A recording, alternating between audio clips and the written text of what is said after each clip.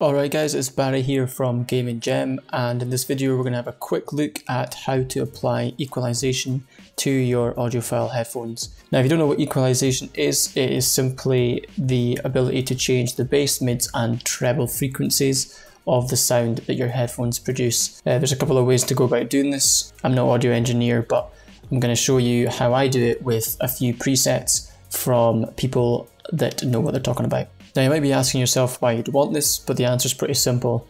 It cuts out any frequencies that are basically noise and reduce the quality of the sound that you're hearing through your headphones and allows you to focus on the sounds that actually matter most. This is great for gaming, it's great for music, and I really recommend that, that you do it to get the absolute most out of your audiophile headphones. Without equalization, you're you're really not getting the most out of the headphones that you're using. So let's jump into the video. So the first step is to install Equalizer APO. Uh, it's a small application that will allow us to adjust the frequencies for the headset. So first things first, go over to the, this website. The link will be in the description. Click download, grab the .exe and run it. You'll get the following setup and click next until it's finished installing. Once Equalizer APO is finished installing, you'll be presented with this configurator screen. This is a list of the devices that you have in your system. Pick the one that your headphone is, your headphones are connected to.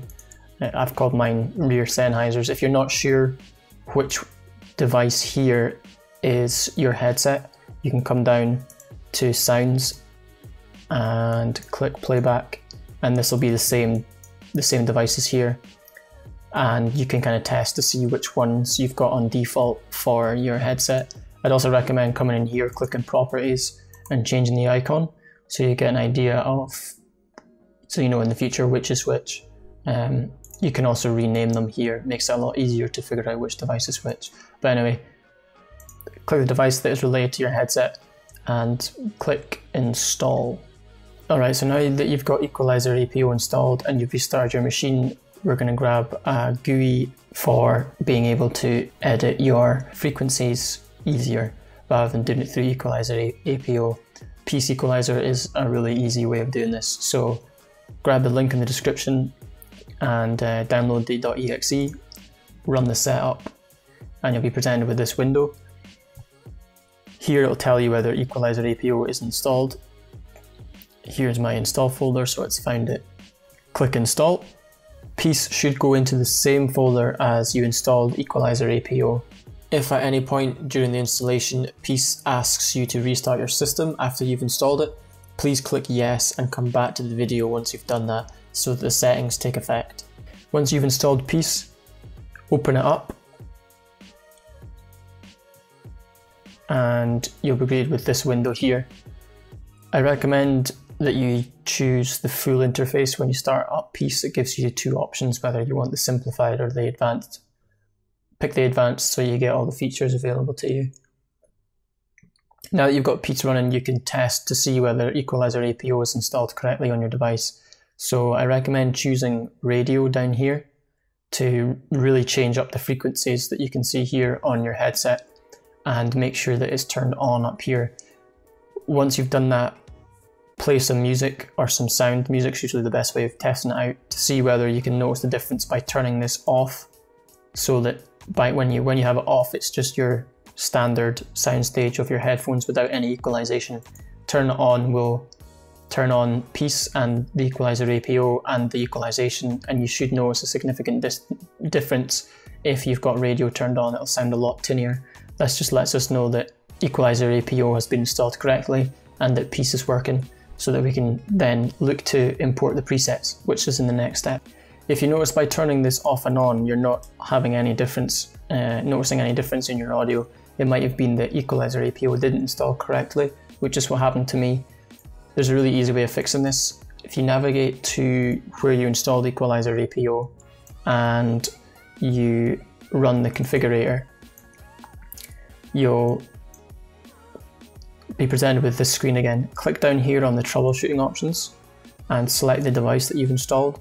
Make sure these are both ticked and it will likely be here you'll likely have installed as LFX, GFX. Change it to install as SFX, EFX, and it will ask you to restart again. So do that, restart, come back to here, do the same test again, testing this off and on, off and on, and you should notice the difference.